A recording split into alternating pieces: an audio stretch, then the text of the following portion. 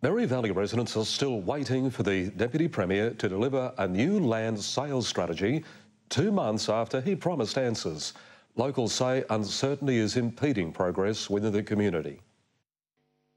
Bronwyn Kerr sold her Kandanga property to the state government four years ago when land was being resumed for the proposed Traveston Crossing Dam. But her offer last month to buy it back has been knocked back. She says the new government sale price isn't reasonable. It was only 60000 less than what I'd already bought it for. It's run down, nothing's been done on it, no work's been done on it.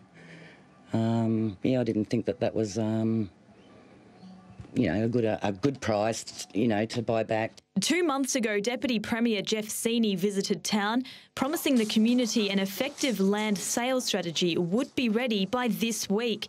But the community is still in the dark. People are keen to come here. They know that there's properties out there to be put on the market to be sold.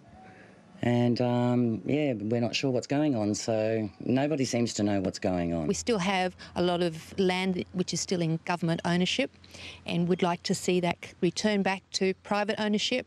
The Deputy Premier's office told 7 Local News today the government is close to finalising a new strategy for the Mary Valley.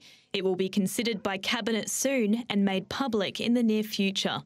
Mary Valley advocates say they've seen positive interest in people wanting to move to the area and make it their home, but they say uncertainty surrounding property sales is plaguing the progress of their community. The campaign we had to save the Mary River was really, uh, it built some wonderful connections within the community and it shows a very strong community spirit. A community forum will be held at Imbil on August 2nd. Demi Buxton, 7 News.